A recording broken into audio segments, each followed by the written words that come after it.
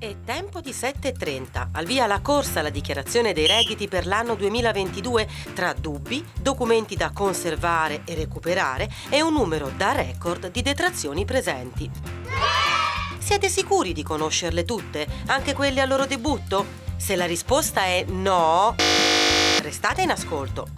In primis la questione assegno unico universale, entrato in vigore il 1 marzo 2022, che ha rivoluzionato, assorbendole, molte detrazioni per figli a carico. A partire da questa data, infatti, resta in vigore solo la detrazione di 950 euro per ciascun figlio, purché di età pari o superiore a 21 anni. E sempre in ambito figli, ma quelli di età compresa tra 20 e 31 anni, è da segnalare la detrazione del 20% sull'affitto di un appartamento o di una stanza all'interno di un appartamento fino a un massimo di 2.000 euro, purché in possesso di un reddito complessivo non superiore a 15.493,71 euro.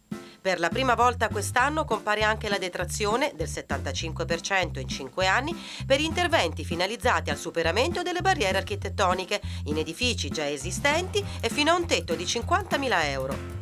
Se allora lo zoccolo duro delle detrazioni sono quelle per spese medico-sanitarie e veterinarie, quelle da lavoro dipendente e per pensionati, quelle relative a mutui, trasporti, ristrutturazioni e assicurazioni, non dimenticate che quest'anno è stato anche introdotto un credito d'imposta al 97,5% per le spese sostenute per lo svolgimento della cosiddetta attività fisica adattata, cioè esercizi fisici prescritti per situazioni specifiche come patologie croniche o disabilità fisiche.